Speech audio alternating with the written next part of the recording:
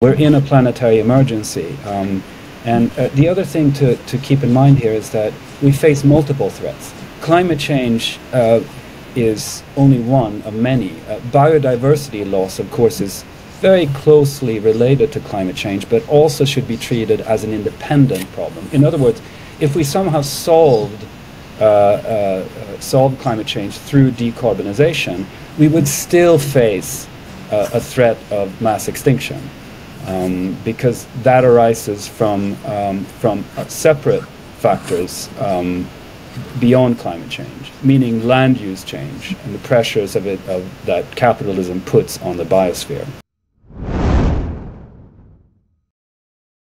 In this podcast, I speak with Fredrik Albritton Jonsson, a history professor at the University of Chicago. He has a book out with Carl Wennerlind, who I also had on the podcast, called Scarcity A History from Capitalism to the Origins of the Climate Crisis. And it's that which we discuss today. We look at climate change, its history, how we got here today, and what our future holds. So I hope you enjoy the podcast. Maybe we could start at the Industrial Revolution. How did that start? Take us back there. How does it start, and why do we suddenly have economic growth sort of out of nowhere? Hmm. Um, hi, hi, Jack. Thanks so much for having me on uh, on this podcast. Really appreciate the invitation. Um, uh, before I answer your question, let me just um, uh, explain uh, where I'm coming from um, intellectually and methodologically. So, mm. I was trained in intellectual, cultural, and environmental history. Um, I've long had interests beyond that in in um, economics, in the environmental sciences, in earth system science, in anthropology. Uh, so so um, my perspective is is fundamentally that of an historian, but uh, informed by other disciplines. And um, you know, I think it's very important for this topic, thinking about energy and climate, that even humanities scholars like myself try to be as scientifically literate and as respectful of the science as they can. Um, uh, so, it, it, as you probably know, um, there is a very long-standing debate about the origins of, of the Industrial Revolution, um, and I don't claim to have a definitive answer to mm. to what happened. But I can sketch for you just briefly um, some of the arguments um, that come into play. Uh, one is uh, a materialist, um, materialist and environmental argument uh, that industrialization is fundamentally about the transition to a mineral energy economy, as as Tony Wrigley, the economic historian of energy, would have it.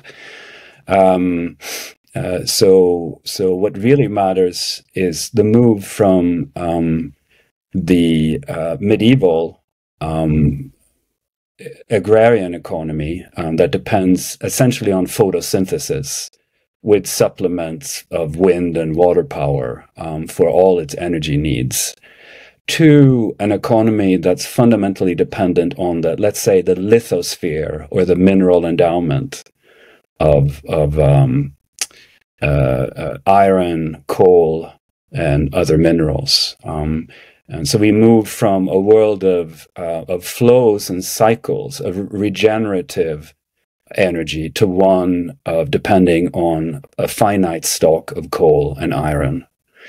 Um, so that's one that's that's one position. Another diametrically opposed position is that industrialization is fundamentally a shift in how we think about science and human knowledge and its application uh, in technology uh, a, a, good uh, articulation of this, maybe the most famous and, and best one, is uh, by Joel Mokyr. Uh, um, Mokyr uh, defines the Enlightenment um, in these terms as a moment when um, information about uh, science and technology begins to circulate more and more widely and where the where access to information, uh, where the cost of access is substantively lowered um, through publishing, through um, ventures like the Encyclopédie. Um, uh, so, so for Mokyr, um, the mere fact of scarcity and and and, and a description of a material process like the burning of coal to power steam um, is never going to provide an exhaustive answer for for the uh, the question of industrialization because it's fundamentally about human ingenuity, the development of human ingenuity, and the mastery of the earth uh, with the help of that ingenuity. Uh, so, so uh, slightly simplifying things, you could say we're we're faced on the one hand with an environmental energy um, um, perspective, and on the other hand with um, uh, one that uh, uh, that that sees human ingenuity almost in transcendental terms as as a force uh, that can master everything. Um, Mokyr goes so far as to suggest that um, that coal and steam were wholly incidental to industrialization. That if if Britain had not had coal or had not been able to exploit it, um, it would have found another way.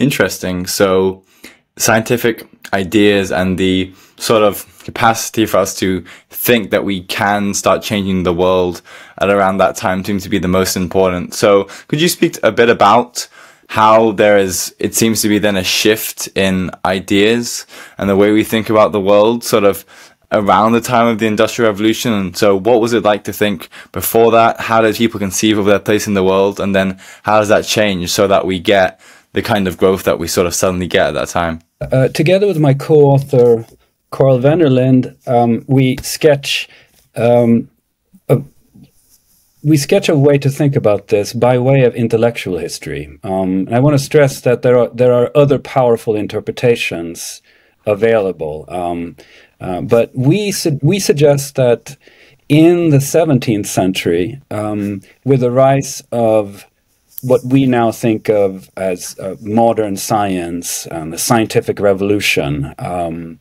or in their terms, natural philosophy and alchemy and mechanical philosophy, um, we get a new worldview. We get a new notion of human power, um, particularly in, in, uh, in Francis Bacon uh, the natural philosopher of the early 17th century, um, uh, and also in his followers, the uh, the network of alchemists and natural philosophers uh, uh, that gathered around um, the savant um, Samuel Hartlib in the middle of the 17th century. Um, the founding of the Royal Society in, in the 1660s marks another stage here, but but just to speak speak to the very origin of this, in um, in the Baconian worldview, uh, say in Bacon's text *The New Atlantis* or in *The Great Instauration*, uh, the project is to learn um, how to imitate God, um, to learn from God how to master the world. Um, so divine knowledge and divine power uh, are considered within the remit of humanity, uh, or at least of the natural philosopher.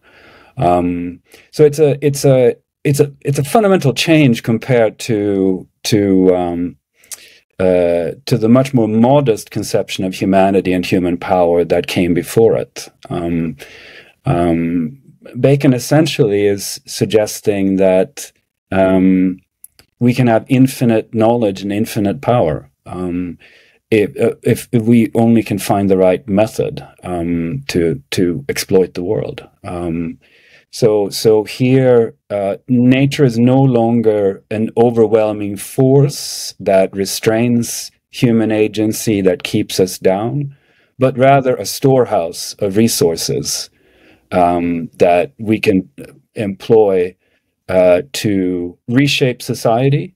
Um, Bacon himself isn't, you know, he's not speaking in terms of uh, GDP or uh, any of the metrics of growth that we have uh, developed in later times. Um, uh, but he's very clear that this this project marks a, a fundamental change in our in our relation to nature. Um, and I don't think I think the the idea of imitating God tells you all you need to know about this. It it it the aspiration is is to grapple grapple with the infinite. Uh, now he's doing so within his, the um, within the horizon of his own time, um, the horizon of available technology, of the social structure, of, of the forms of knowledge available to him. Um, so we shouldn't expect him to be talking about, say, uh, interstellar travel or, or DNA at this point. Uh, we have to be careful to see that each uh, each conception of growth, whether you're looking at Bacon or, or Adam Smith or Marx or Solow um, or Elon Musk, in each of these cases, uh, the idea uh, the, the idea of dynamic growth uh, depends on the technologies and the social structures of, of the of the moment. I, Carl and I use the umbrella term cornucopianism to describe the fundamental kinship between between all these different positions. They they vary and they're they're they're historically determined, but there's also a, a sort of kindred uh, affinity between them. Um, and again, to put it very bluntly, uh, they all aspire to uh, articulate um, a, an idea of dynamic growth that will go on infinitely or indefinitely, uh, and, and that's based on a confident mastery of nature and um, uh, a recognition uh, that human desire um, is is in itself a dynamic force. Um, many of them uh, uh, see see growth as a confluence of mastery plus insatiability. Interesting. You know, we'll get into sort of those ideas as they develop after the scientific sort of revolution. But I'm interested in to go back to this point of Francis Bacon and people thinking that they can start changing the world. What is it like to live in a world before them? How are people conceiving of the world when there isn't growth and we don't think that there is this kind of abundance and we can start sort of creating and changing the world to our benefit?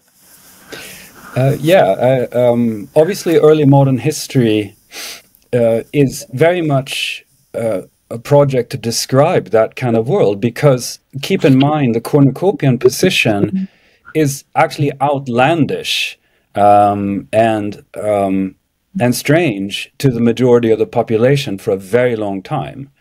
So when I say cornucopianism uh, emerges with Bacon and the Hartlibians, I'm really talking about a, mi- a minority position uh, um, that is scorned by many, uh, in the, even in the elites. Um, and and uh, one might even say that uh, the uh, the moral philosophers and political economists of the Enlightenment um, are articulating their own sense of progress very much in in a critique of Hartlib and Bacon and and what they perceive to be a kind of the exaggerated hopes of the 17th century. So, in other words, um, the articulation of cornucopianism uh, could be understood as a dialectic, as a back and forth between different uh, intellectual factions. Um, and it's really not until the Industrial Revolution and the transition into the fossil fuel economy that it begins to become a dominant intellectual, social, and political position. Um, and obviously, we're, we're still we're still in the early modern phase here, but um, I would say uh, uh, the the worldview, the cornucopianism becomes a worldview for the masses uh, in the 20th century, and, and really probably fundamentally only after World War II.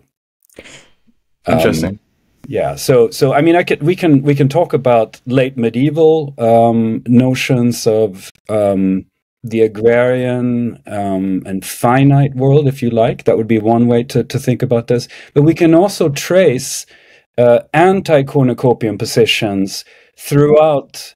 Uh, the modern era, uh, for example, in in uh, romantic ideas of scarcity or Malthusian ideas of scarcity. Uh, so it's not um, it's not that we move uh, in a sort of binary switch from a finite world to an infinite world around 1600. Okay. Well, would you be able to sort of paint a picture of thinkers, whether it would be Adam Smith and you mentioned Malthus and economic developments like the marginal revolution. Could you maybe, even if you're not going into details, touch on this back and forth and, and, and how we get up to our, our sort of present day, if, if that's not too big a task and break that down how you want? I'll, I'll, I'll give it a try. And um, we'll focus on Smith and Malthus since I know something about those two. Um, yeah, uh, uh, Smith is um, is optimistic about the human prospect, um, but unlike Bacon and the Heart but rather as an almost insensible, gradual, incremental process um, that uh, uh, begins not in top-down science and utopian ventures, but in uh, the innate propensity of all human beings to strive for their betterment.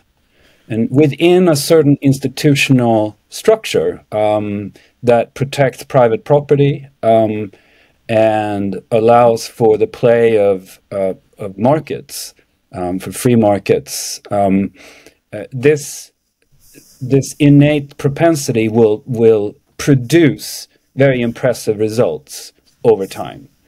Um, that said, Smith uh, Smith has two kinds of futures in mind. Um, insofar as he talks about the future, uh, he looks to the Dutch Republic, like like many British thinkers um, of the period. The Dutch Republic stands out as as the most sophisticated, most developed economy uh, there is. Um, he clearly thinks uh, the Dutch are still ahead in some ways. Uh, but interestingly, he points out that the Dutch Republic has reached the full complement of its natural riches. It has developed all the resources at its disposal.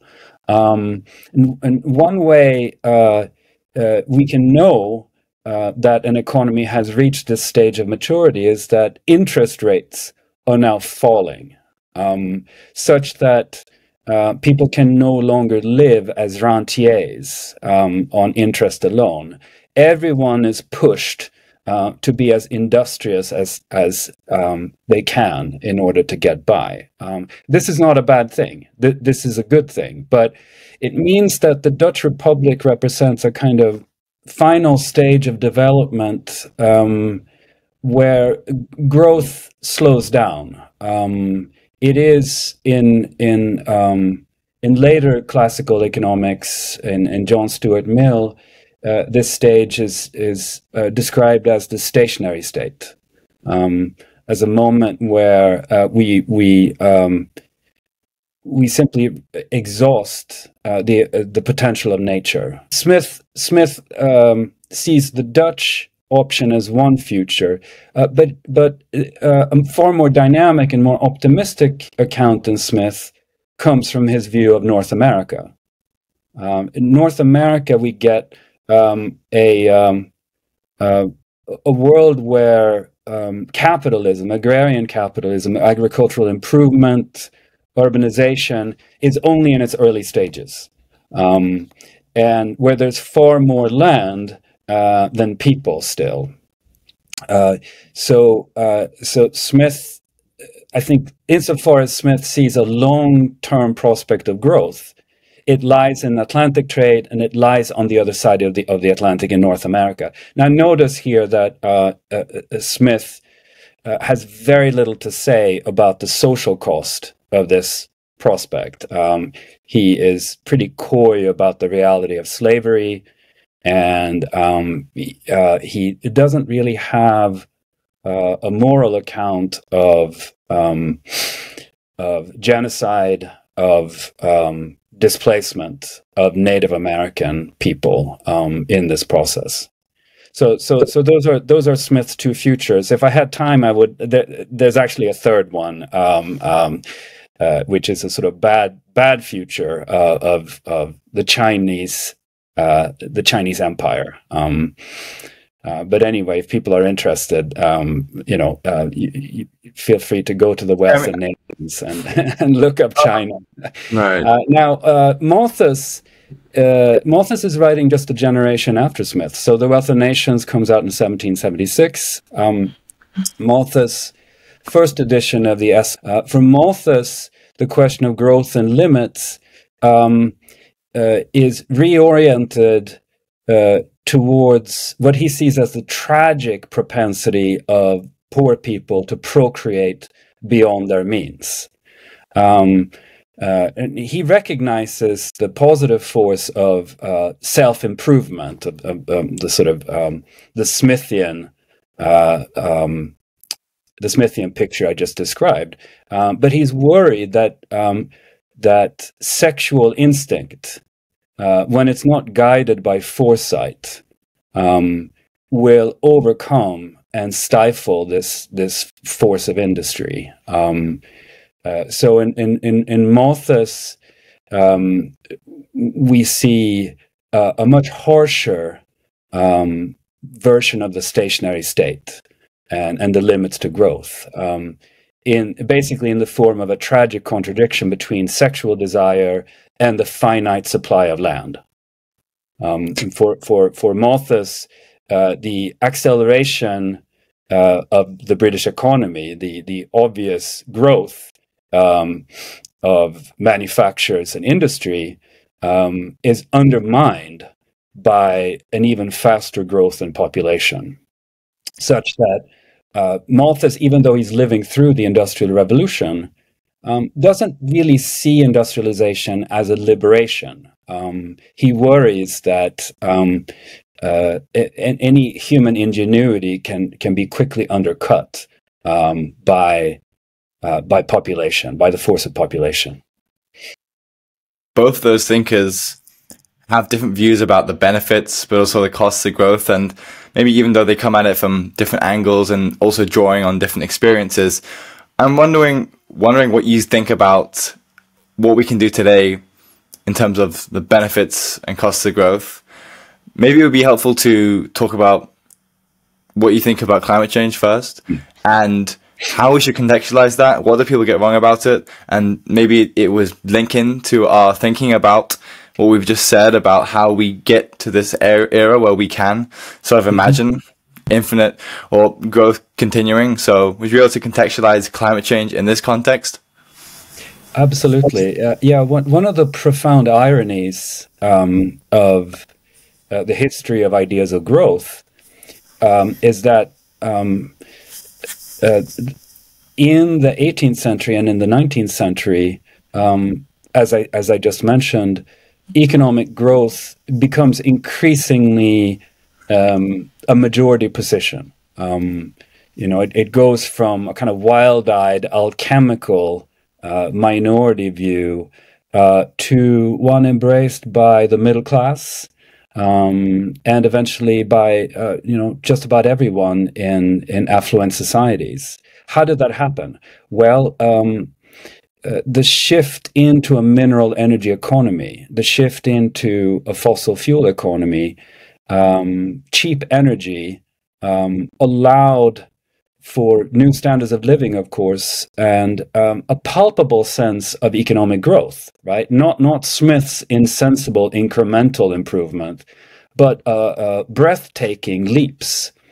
Um, uh, coal and steam and canals uh, did something to uh, to expose people to growth, but even more so, I think the late 19th century and the so-called ni- uh, the the second industrial revolution centered on on uh, new forms of engineering, chemistry, um, and uh, new uh, new forms of power, um, hydropower, electrification, uh, natural gas, and of course petroleum. Um, but you see, you, you probably can see where I'm going with this. So the irony here is that uh, growth becomes thinkable, become begins to uh, look like common sense exactly at the moment when um, carbon emissions begin to uh, uh, um, change uh, the nature of the climate and the Earth system. Changes in um, in temperature uh, don't register fully until the 20th century. Um, but if we're just looking at atmospheric concentrations of carbon, uh, carbon dioxide, um, we know that we diverge from the Holocene norm, from the natural variability of atmospheric carbon, sometime in the late 19th century. Uh, in other words, exactly at the moment of uh, the marginalist uh, revolution, of, of Promethean socialism, is where the seeds of the Anthropocene are sown. Um, so our entire our entire way of life ha, uh, uh, has produced um, a, an unintended consequence at the planetary scale, um, which we don't become fully aware of really until um, until the late 20th century. Climate science uh, has roots in the 19th century, of course, but um, I think it's fair to say the danger of anthropogenic climate change of um, carbon emissions only becomes clear in the 80s, in the late in the late 1980s. Um, and so, insofar as we want to draw a line between unintended consequences and, let's say, intended carbon emissions, it would have to be drawn somewhere there. Is our current impact on the world, and we can sort of debate about how much that is, but the fact that we are at least way bigger and more impactful now as a civilization, is it unprecedented? What about the past? How have you thought about nature and have humans been able to impact nature on a, a scale like we do today? Well, uh, uh, there's a debate about this. Um, um, I'll just mention two hypotheses. Um, one is that uh, the beginning of agriculture in the Neolithic, um, the taming of livestock and clearing of land, deforestation, drainage, agriculture, uh, contributed to an uptick in greenhouse gases. So that um, on on this um, on this interpretation, um, we we were sort of warming the planet uh, as we were um, spreading agriculture around the world. Um, uh, a second hypothesis um, is that somewhere around uh, the start of the 17th century, uh, as a consequence of the Columbian Exchange, the discovery, the European discovery and exploitation of the New World, um, the collapse of Native American society in the New World um, uh, uh, had uh, the ecological consequence of um, drawing down carbon, of expanding carbon sinks through afforestation or reforestation, um, so that um, uh, so that the little ice age um, the cooling of the climate in the 17th century um, actually could be seen to have an anthropogenic cause. So those are those are two hypotheses made about the influence of humans on on climate before the present moment. They're both controversial positions. I think they're not they're definitely not majority uh, views among climate scientists. Uh, much more common uh, is the idea that, as I just said, it's really only in the 19th century that we begin to see an impact of human uh, burning of fossil fuel as a consequence of industrialization and land clearance on a large scale uh, around the world. Um, and that, uh, that before that moment in time, climate is, is uh, natural, is, is a physical force um, that um, is not uh, within the realm of human impact, of human influence.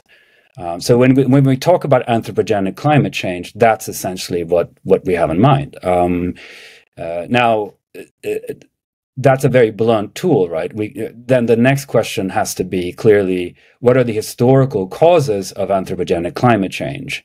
uh, from the 18th, 19th centuries on. Um, uh, you know, to um, to what degree is this uh, an event propelled by imperialism, by colonialism, by industrialization, uh, by land use change from uh, new forms of uh, um, a dietary change? Um, in in in in Europe and North America. You know, um, and here we can. I mean, again, the the this is a, a, a hugely controversial topic, um, um, but I think most historians agree with the climate scientists that anthropogenic warming is a relatively recent um, uh, recent event.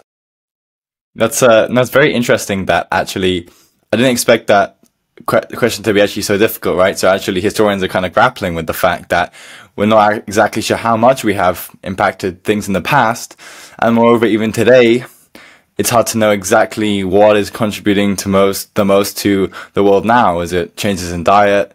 Is it the spreading of cultures and people across the world and colonialism? Is it um, industrialization and things like this? Given there are, given that there are not only there, there there are problems, but there's also, as you say, it's also hard to quantify and it's hard to think about these things. And as we've been talking about, it's messy these debates about different ideas about what kind of growth and what kind of society we should have. What do you think? And I know it's a big question. What do you think should be done today? What do you think about ideas of continuing to grow? What kind of growth should we have? Should we stop economic growth? Could you say a bit about that? Yeah. Um, I don't think it's very helpful to be absolutist about uh, whether or not we should have growth. Um, a lot depends on um, how events unfold in the next few decades and and beyond that. And what I mean by that is is as follows. Um, we are in a situation where a minority of the world's population uh, is producing carbon emissions um, that jeopardize the entire safe functioning of the Earth system. Uh, so it's not a Malthusian problem. Um, in in uh, the book I, I just um, published with Carl Wennerlind, uh, we call this phenomenon planetary scarcity. Uh, again, it's it's uh, it's a function of overconsumption by a minority of the world's population, and and and, and that means that um, tragically, uh, the more the fossil economy spreads to um, to countries outside OECD, outside uh, the West, um, the greater pressure we put on the Earth system, the more we accelerate climate change. Um, so, uh, and and and and uh, you know, it, um, the worst possible scenario would be one where we we basically hit not just one but multiple tipping points and push the planet into uh, runaway warming um, um, until we jeopardize uh, not just the lives of vulnerable people, but uh, but the entire species and all other species with with us. Uh, so it's really it it it's we this is the great problem of our time. Um, we're in a planetary emergency, um, and uh, the other thing to to keep in mind here is that we face multiple threats. Climate change uh, is only one of many. Uh, biodiversity loss, of course, is very closely related to climate change, but also should be treated as an independent problem. In other words, if we somehow solved uh, uh, uh, solved climate change through decarbonization, we would still face uh, a threat of mass extinction um, because that arises from um, from uh, separate factors um, beyond climate change, meaning land use change and the pressures of it of that capitalism puts on the biosphere. Um, so what can we do? Um, well, we have to uh, transition to to uh, renewables. Um, uh, if if we can, it would also be wonderful if we could somehow um, somehow purge the atmosphere of the excess carbon we have put into it um, by artificial means or uh, natural means. So, in other words, if we could uh, um, build artificial sinks or natural sinks capable of sequestering uh, the uh, atmospheric carbon. So we could we could draw down the carbon uh, uh, concentrations to a level closer to the Holocene uh, norm of natural variability um, that we left behind in in the late 19th century. Um, now, side by side with this problem, uh, as if this wasn't a big enough project, we also have to figure out how to how to share the planet, how to share the oceans and the earth with non-human species. Um, and it seems uh, to be a problem of um, that conflicts with decarbonization insofar as decarbonization will force us to rely on land extensive forms of energy, right? Solar panels, wind, all of that takes up room. But so does biodiversity. Um, so how can we how, how can we can we find a way to, to reconcile those two? Um, all of this has to happen on a fairly uh, uh, short time scale. Um, we shouldn't make a fetish out of any particular number. I think every increment of change uh, uh, is, uh, it, it matters here, right? The sooner we can stop fossil emission, uh, carbon emissions, the better for us. But all of this will have to happen within the next generation or two. Um, and it's going to take an enormous amount of work um, of new, kind, new kinds of infrastructure, uh, massive engineering projects.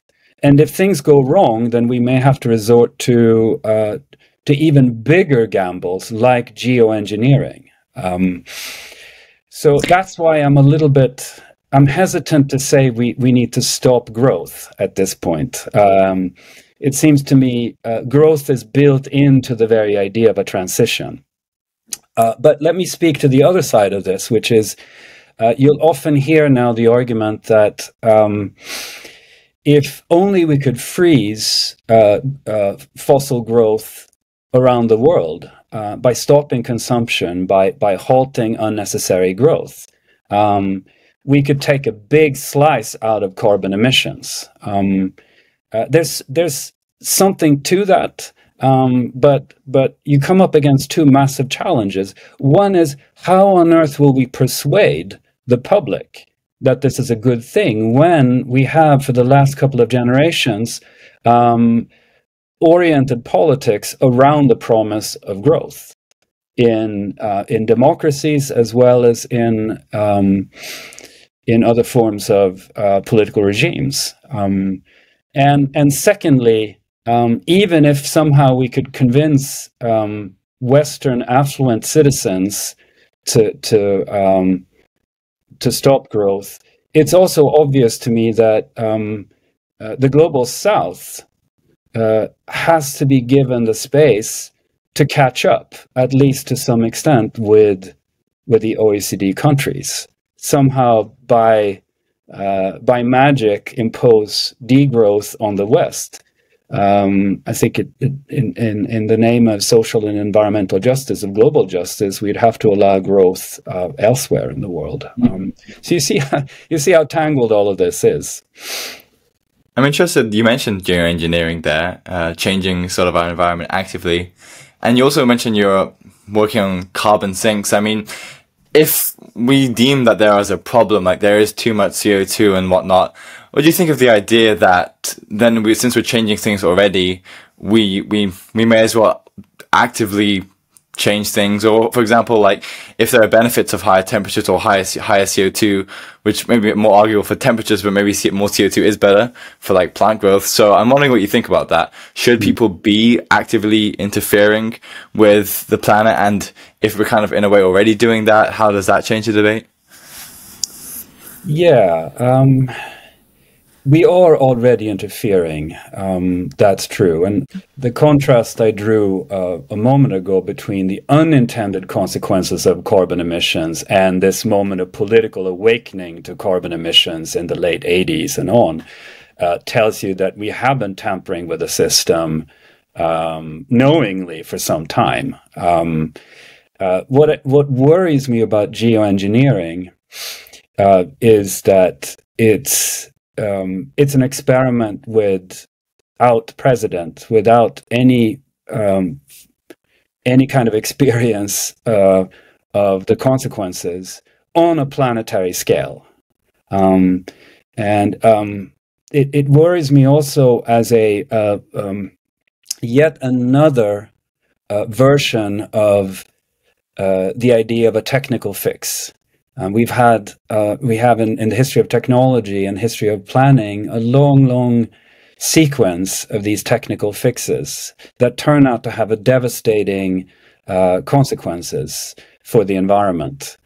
Um, so it seems to me one of the one of the takeaways from uh, uh, thinking historically about this is that we've unleashed one set of planetary unintended consequences through industrialization.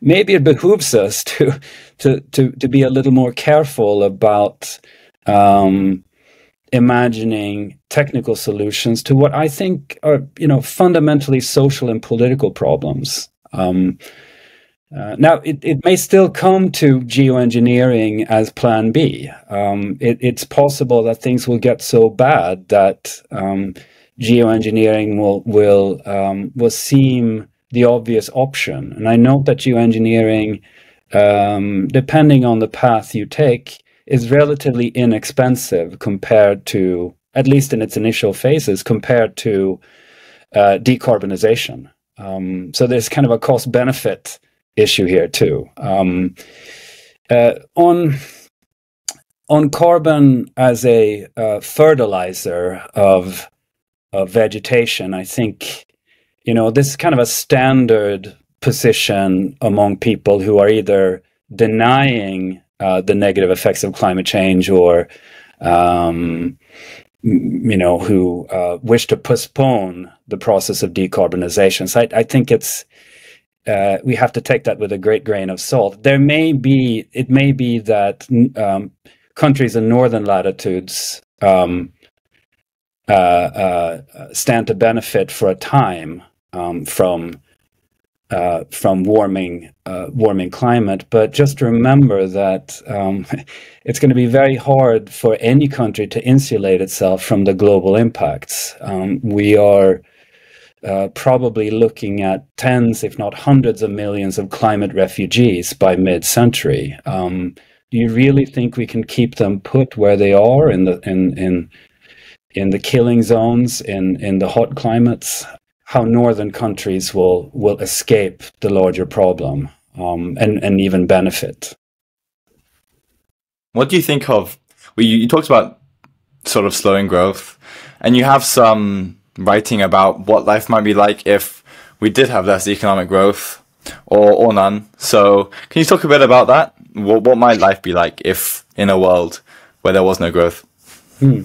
Um, well, um, growth is a relatively recent idea, as as as we've been saying now um, in the course of this conversation. Um, it um, it has become common sense and second nature in uh, in the last few generations, maybe let's say after World War II, um, in in Western countries, and and maybe after uh, after the nineties in uh, in um, in China um, and India.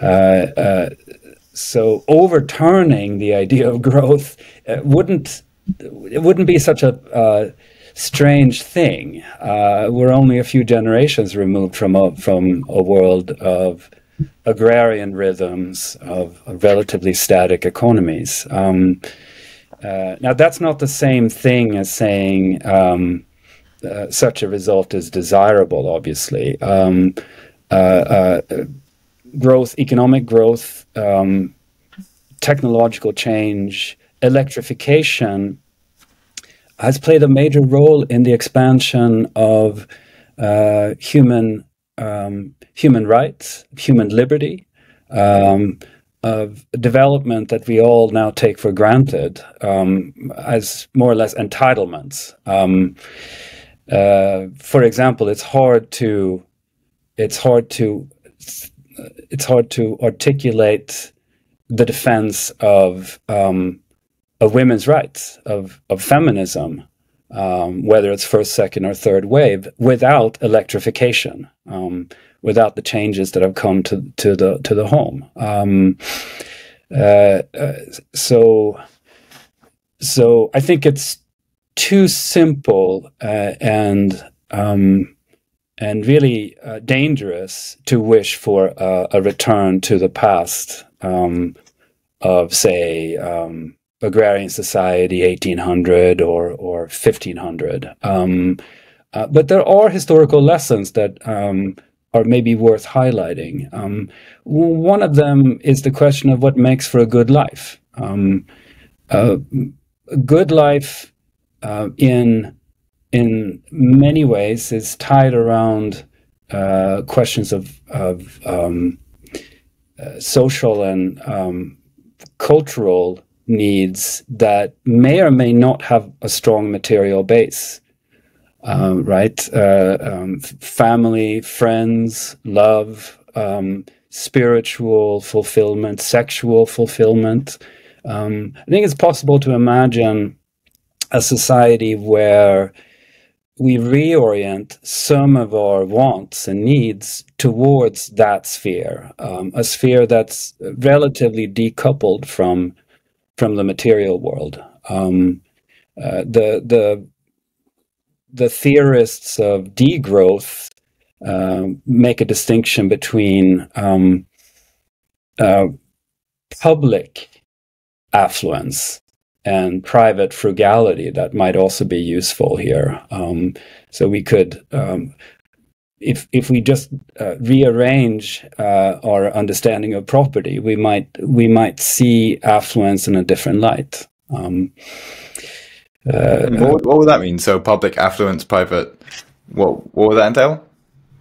Um, well, um, for example, um, a society uh, such as really the the the current infrastructure of many Western European uh, countries where uh, there is strong public support for public um, transport, um, where urban planning uh, creates uh, densities of population and services. Um, you know, you might think of, of, of a modern city um, as a zone of shared affluence of that kind. Um, it, I'm not saying um, I'm not saying places like Stockholm or Amsterdam are perfect examples of this kind of future, but they you might think of them as a step in the right direction. I see. Compared to say uh, to say where I live, Chicago, um, or or New York.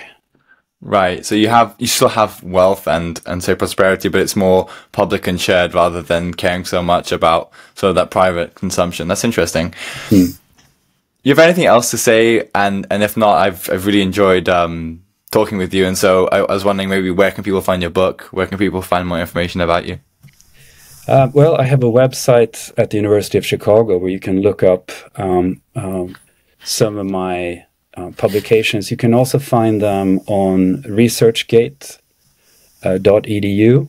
Uh, um, and I would say, uh, but, but, but rather than um, bang my own drum here, let me just say that uh, whatever, uh, whatever ideas I've articulated here are really part of a much larger conversation with many, many colleagues, uh, including, of course, my my co-authors Carl Wennerlind and Vicky Albritton, um, but you know, I'm I'm glad to say there's uh, there's a really dynamic uh, movement in environmental history and history of science that is grappling with these questions of growth and climate change in in wonderful new creative ways. Um, uh, if I could just recommend a few names, I would mention, for example, um, the environmental historian Bathsheba DeMuth, who uh, whose first book is a is a, a milestone on the floating coast. Um, and another important environmental historian, um, Chris Otter, uh, whose book "Diet for a Large Planet: World-Changing Consequences of of the 19th Century Dietary Transition." So I, I, can go on, but that that yeah, go, go on if you want. There's nice recommendations. Thank you. Mm-hmm. Um, well, one one final thing is uh, for people like students or young people studying these these areas, what should they they study and how how should they try and approach these kinds of admittedly very complex issues?